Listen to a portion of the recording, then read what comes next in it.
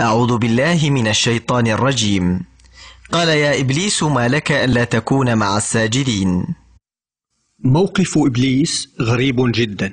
هو حالة شبيهة تماما بما يوجد لدى الإنسان بما يوجد لدى الشخص من رعونة وجرأة على معصية الله. هم تماما هؤلاء الذين يتمسكون بالعادات ويريدون أن يستهزئوا بالله ويستهزئوا بالنبي صلى الله عليه وسلم. الشيطان أيضا هكذا. يتميز بالطيش والفظاظة إلى أقصى درجة على مستوى كبير جدا من القبح والجرأة. مثل هذه العقلية موجودة في الحقيقة وأنا لاحظت ذلك. هي عقلية مبنية على القبح والجرأة. انظر يقول خلقت الإنسان من طين وخلقتني من النار. من أين لك أن الطين خبيث؟ ومن أين لك أن النار طيبة؟ على أي أساس بنيت حكمك؟ ففي كل منهما روح الله تعالى لكن تلك الروح المتكبرة سكنت فيه. إلى متى ذلك؟ إلى الأبد. هذه الرعونة لا تفارقه وهذه صفة تلاحظ لدى الكثير من الناس. هذه الخاصية خاصية الكبر والرعونة نلاحظها عند الكثير من الناس. يقول مثلا حاشا لله لو كنت مكان الله لما وضعت احدا في جهنم.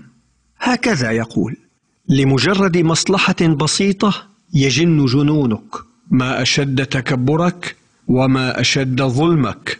ما أبعد عقلك عن قدرة الله تعالى فماذا تحسب نفسك؟ من أعطاه العقل هو الله ومن منحه القدرة على الكلام هو الله لكن لا علم له بذلك. يعتقد أنه بقدرته يتكلم ويعتقد أن كفره لا حدود له والحال أن للكفر كذلك حدودا. وهو لن يقدر على أن يقول إلا ما يشاء الله له أن يقول. نعم أستمع. أعوذ بالله من الشيطان الرجيم. قال يا إبليس ما لك ألا تكون مع الساجدين؟ انظر هي قمة الكبر أسلوب التكبر القديم. ثم كيف للإنسان أن يقدم على هذه الجرأة إزاء الله تعالى؟ كيف تكونت لديه روح اللامبالاه هذه؟ فعلا شيء مدهش. ترى الواحد على فراش الموت وهو لم يترك بعد عبارات السخرية. تراه يطلق عبارات بلهاء. فعلا ما يصدر عن الإنسان شيء محير. هذه القوة الشيطانية التي تسكن الكثير من الناس هي في حد ذاتها معجزة. فالأمر الطبيعي أن يخشى الإنسان الله سبحانه فهو كائن عاجز تمام العجز. أستاذي إن الطاعة ثقيلة جدا على المنافقين. المنافق مثير للحيرة فهو مسلم بين المسلمين وفي الوقت نفسه عدو لهم. لا يوجد تفسير لحمقه وحسب اعتقادي فإن المنافق أشد خطرا من الشيطان ذاته. نعم أستمع إليك. قال فاخرج منها فإنك رجيم. كان يعتقد أنه لن يخرج منها وما زال يعتقد أنه قادر على إظهار التكبر في الجنة. حتى قال الله تعالى اخرج. هناك أصناف من الناس هكذا تماما. بسبب تكبره لا يتراجع. ثم هو يقول لله تعالى هذه المرة أنظرني وسوف أضل هؤلاء جميعا ولن تجد أكثرهم شاكرين. إبليس يقول أنا على حق والله عز وجل يجيب إبليس إلى طلبه. في الواقع إن الناس يتبعون خطوات الشيطان إلا من رحم الله منهم وهم قليل. أجل أستمع إليك. يقول الله تعالى أعوذ بالله من الشيطان الرجيم. الذين آمنوا يقاتلون في سبيل الله والذين كفروا يقاتلون في سبيل الطاغوت. فقاتلوا أولياء الشيطان. إن كيد الشيطان كان ضعيفا. يقول الله تعالى أعوذ بالله من الشيطان الرجيم. الذين آمنوا يقاتلون في سبيل الله والذين كفروا يقاتلون في سبيل الطاغوت. فقاتلوا أولياء الشيطان إن كيد الشيطان كان ضعيفا. في الحقيقة أتباع الشيطان على درجة كبيرة جدا من الحمق. هم لا يعقلون.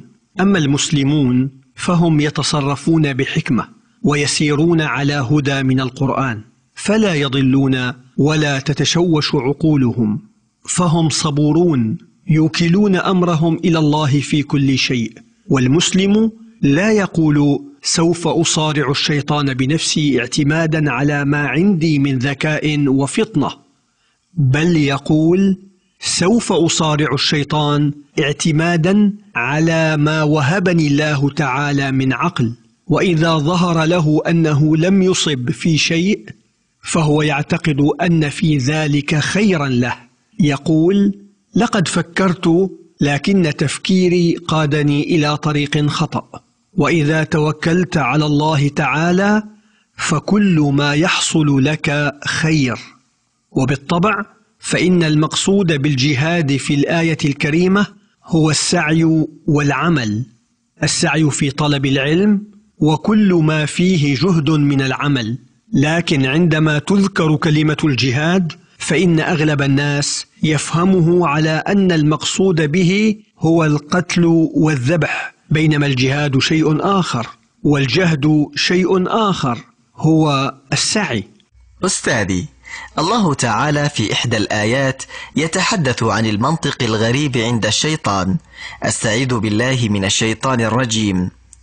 وقال لا غالب لكم اليوم من الناس وإني جار لكم فلما تراءت الفئتان نكص على عقبيه وقال إني بريء منكم إني أرى ما لا ترون إني أخاف الله. الشيطان كائن غريب وأخرق هو صورة للإنسان الذي لا شخصية له تتبدى فيه صفات النفاق والكبر وانعدام الشخصية. وإن عليك اللعنة إلى يوم الدين. سوف تلحقه اللعنة إلى يوم الدين يعني إلى يوم القيامة. قال ربي فأنظرني إلى يوم يبعثون. إلى يوم يبعثون بمعنى يعتقد أنه على حق. نفسه تطمئنه كأنه يقول لها لقد حصلت على ما أريد. غلبت عليه أنانيته فهو يرى نفسه أكبر من حجمها الحقيقي وظن أنه سوف يعيش في أمان إلى الأبد. قال فإنك من المنظرين.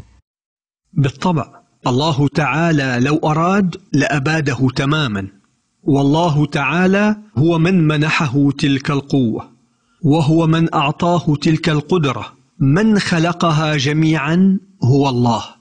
ربنا هو الذي أراد إيجاد مثل هذا الكائن لأن ذلك من مقتضيات الامتحان. بسببه يعني بسبب الشيطان يكون الإنسان قد اجتاز امتحانا حقيقيا. والإنسان يصل إلى النضج بمجاهدة النفس والشيطان. بهذا تبلغ الكمال الذي تنشده. سيدي الإنس والجن كذلك يتحدثون عن الشيطان. فهل هذا يعني أنهم من زمرة الشيطان؟ يوجد شياطين الإنس يتجولون في الطرقات. عندما يذكر الشيطان يتبادر إلى الأذهان كائنات لها قرون أو أذيال. أنت ترى الشيطان في الإنسان العادي في الشارع. يوجد شياطين من النساء. يوجد شياطين من الرجال. عددهم كبير جدا. ويوجد أيضا شياطين من الجن. لكن هؤلاء لا يمكن رؤيتهم وهم يسلطون على الإنسان يلازمه يسكن في رأسه يتسلل إلى دماغه يجتهد في إغوائه لكن سلطانه ضعيف.